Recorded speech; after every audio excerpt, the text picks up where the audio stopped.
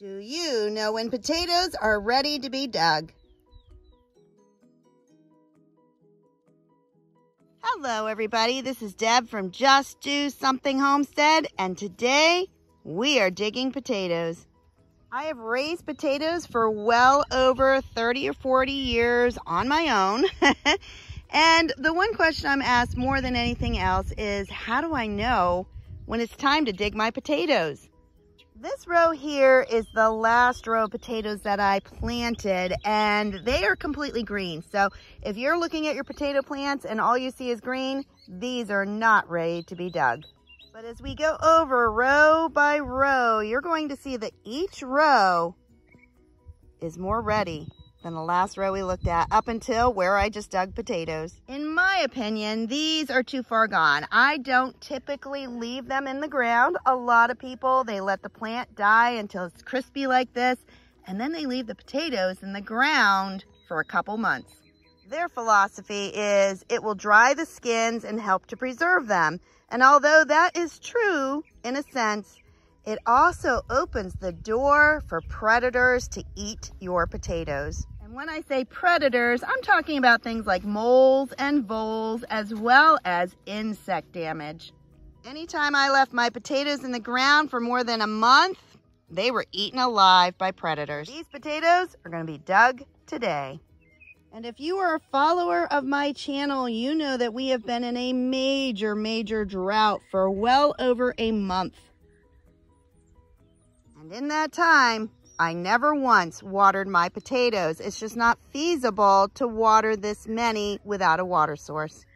But thank goodness I use woven weave fabric and that kept the moisture in. And even though we're in a drought where most people are not getting potatoes, our potato harvest is huge. And although the harvest is huge, the potatoes really are not. They are on the smaller side. We have a lot of average ones like this, but we don't have a lot of massive ones. In the past, we had some huge potatoes.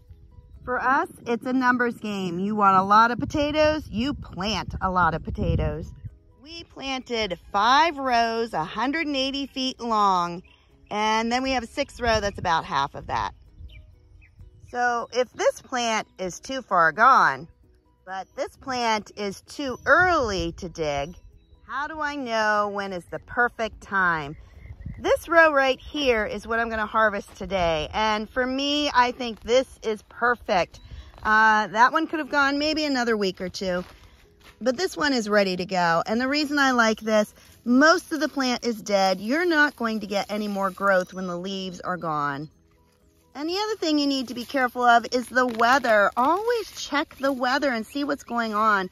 For us, we're not getting any rain, but if you were expecting rain, dig the potatoes before it rains. I love to give the stem a tug and have these potatoes still attached. It just makes it so much easier to dig. And our ground is as hard as a rock. So thank goodness we rototilled this very, very deeply and we used woven weave so it grew on top of the ground and not in the ground. And I have been out here since 6 a.m. That's because every day is in the high 90s. But at 6 a.m., it was 68 degrees. So I'm going to dig as much as I can until it gets hot. And although the majority of the potatoes we have are huge, we also have some itty bitty. Make sure you keep these. These make the best little either oven roasted potatoes or fried potatoes. And when I saw them at the market, this is what people are looking for. And once in a blue moon, I get one down deep in the soil, which usually I don't with the woven weave. And these are so hard to get out because the soil, oh, is so hard. so I'm going to try to get this one. Nope, I'm going to have to go get a tool. When you use tools around your potatoes, don't go and try to grab that potato and pull him out. You are going to ruin him by pulling off the skin. So what works for me is to loosen up the soil all around it. I told you it's really hard. And then I'll be able to move that potato out. I'm in a lot of beginning gardeners groups and unfortunately there's a lot of misinformation that is going around about growing potatoes. I want to talk about some of those real quick.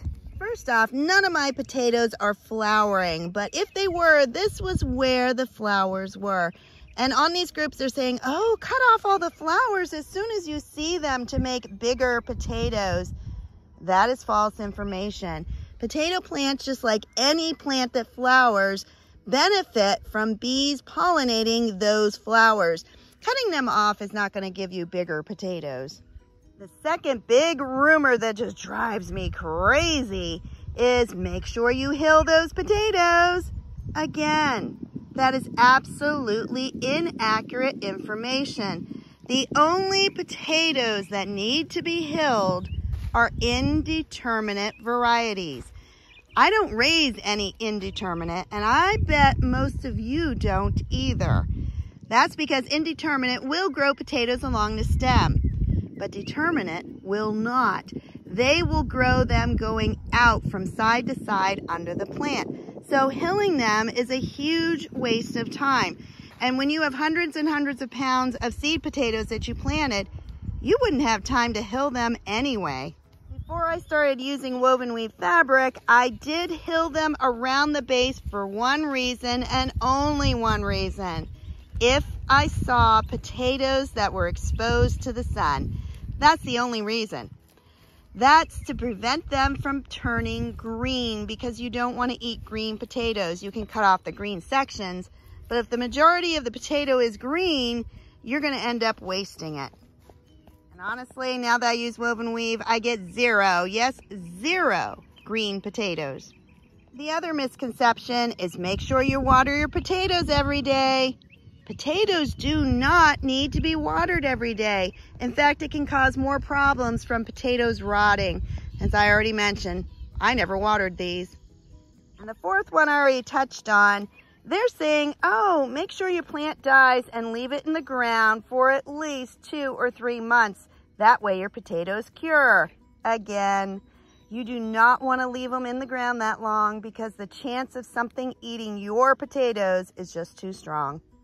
Our potato patch is in the middle of nowhere. Originally, we were going to build a house right next to it. Well, that didn't happen. And because of that, I needed a crop that I could plant and ignore. And potatoes is that crop. I put those seed potatoes in the end of March, beginning of April, and I never come back until it's time to harvest. Another misconception. Are my potatoes ready? Oh no, my grandfather used to plant them in March and didn't pick them until October. Again, it depends on the variety. Did you know there are three types of potatoes? There are early varieties, mid-season, and late season. Early season are often your red potatoes, and that's exactly what this is. This is red LaSoda. They grow in as little as 60 to 80 days. And the best part about that is once these are dug, I can replant an entire another section of potatoes in their place. And that doubles my yield. Mid-season are typically white or yellow potatoes. They often take about 80 to 100 days until they are ready to harvest.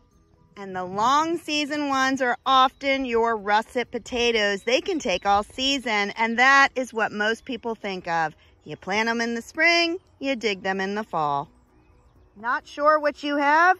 It's pretty easy. Just look up the variety online and it will tell you what type of potato and how long it is until harvest And if you're not sure when to pick your potatoes, you can always dig up one plant and decide if they're large enough for you. And talking harvest, that leads us to the next huge error that new gardeners do. When people tell you that you need to toughen the skins by laying them out, that does not mean by laying them out in the sun. By placing your potatoes in the sun, you're going to have them turn green. And I've heard of people who lost their entire harvest because they put them in the sun for a week to harden. The majority of my first crop is sold at the farmer's market as fresh potatoes. Don't wash them. Just wipe them off with a cloth because if you wash them, any of your potatoes will not store as long as unwashed. And anything that is not of high quality that I do not sell at the market, I can for ourselves. There's nothing wrong with this potato, but it's not pretty, and people want pretty produce. Split potatoes occur when there's a change in the moisture. When we planted in March and April, it was extremely wet. In fact, I was really worried that my potatoes were going to rot.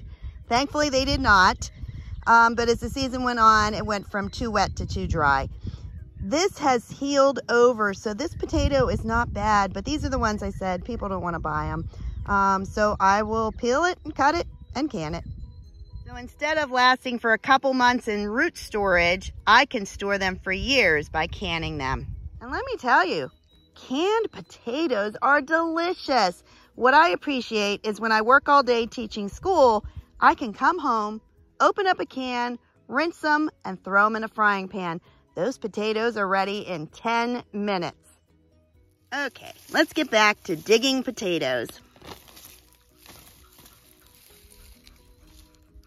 And this is my trusty helper who loves to help me. She's actually looking for toads among, among the plants. Did you ever hear a toad talk? We used to hear this noise under the woven weave, and I thought they were moles because Betsy was chasing them. Turned out they were toads because they make this little squeaky noise. Any other time I leave them in the garden, but when we're harvesting and the dog's helping me, nope, they have to go on the other side of the fence.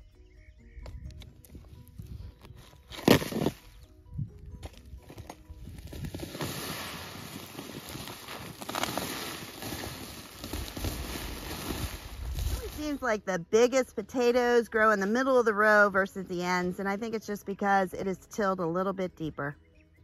Ever find a slimy, rotten potato when you're digging yours?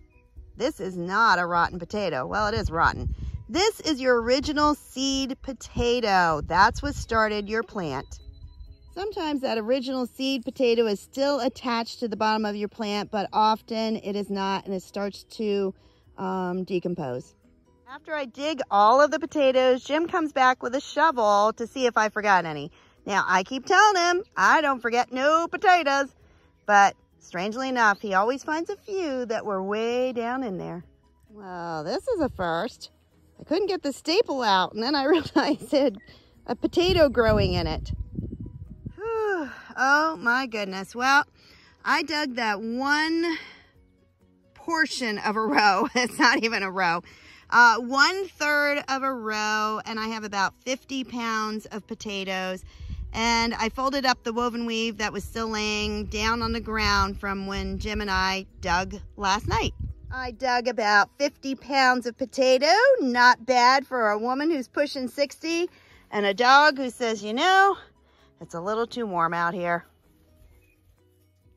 If you know anything about farming, your harvest always comes in when the weather is far from cooperative. So when I came out, it was in its 60s. Now it's already in the 90s. I have sweat dripping off my eyelashes. I have an order for 50 quarts of potatoes for tomorrow morning. So tonight I'll dig this last little section and we should have plenty. And if you enjoyed this video on knowing when to dig your potatoes and how to dig your potatoes, please like, subscribe, and share. Have a blessed day, everybody. Bye-bye.